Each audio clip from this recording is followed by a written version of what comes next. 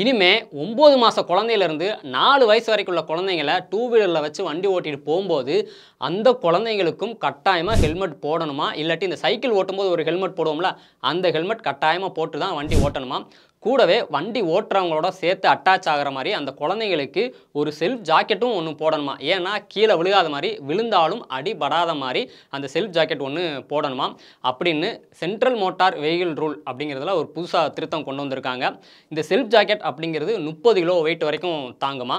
அதே மாதிரி இந்த சின்ன குழந்தைங்களை வச்சு வண்டி ஓட்டும்போது டூ வீலர் ஓட்டும்போது நாற்பது கிலோமீட்டர் ஸ்பீடில் தான் போகணுமா அப்படின்னு ரூல் கொண்டு வந்திருக்காங்க. இந்த ரூல் வந்து அடுத்த வருஷம் பிப்ரவரியில் நடைமுறைக்கு வரும் அப்படின்னு சொல்லியிருக்காங்க. இப்படி சின்ன குழந்தைங்களும் கட்டாயமாக ஹெல்மெட் போடணும் அப்படின்னு சொல்கிறது சரியா? இதை பற்றி நீங்கள் என்ன நினைக்கிறீங்க அப்படிங்கிறத கமெண்ட்டில் சொல்லுங்கள் இப்படி ஒரு ரூல் வரப்போகுது அப்படிங்கிறத பற்றியும் எல்லாருக்கும் அனுப்பி தெரியப்படுத்துங்க. இதே மாதிரி நமக்கு தெரியாத புது புது அடிப்படை சட்டங்களை நிறையா தெரிஞ்சுக்கணும்னா தேநீர் இடைவேளை அறம் சேனலை தொடர்ந்து ஃபாலோ பண்ணுங்கள் பாய்